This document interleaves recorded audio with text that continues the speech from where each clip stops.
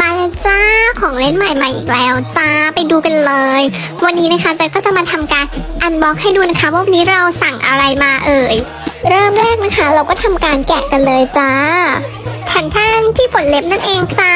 รุ่นนี้นะคะ รับเล็บได้ทั้งสองด้านเลยค่ะ และสามารถเปลี่ยนแผ่นรับเล็บด้านในนะคะ โดยไม่ต้องทิ้งกล่องเลยอะ จะช่วยให้เราประหยัดมากขึ้นด้วยกลับบ้านจอยนะคะเด็กๆก็คือชอบที่ฝนเล็บมากค่ะ ก็คือจะผัดกันมาฝนเล็บตลอดเลย มันจะทำให้เขาได้คลายเครียดด้วยค่ะ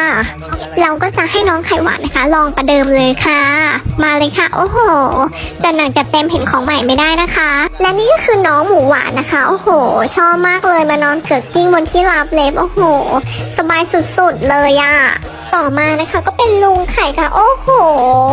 สบายมากเวอร์นอกจากรับเล็บได้แล้วก็ยังนอนได้อีกเลิศมากพิกัดจิ้มที่ลิง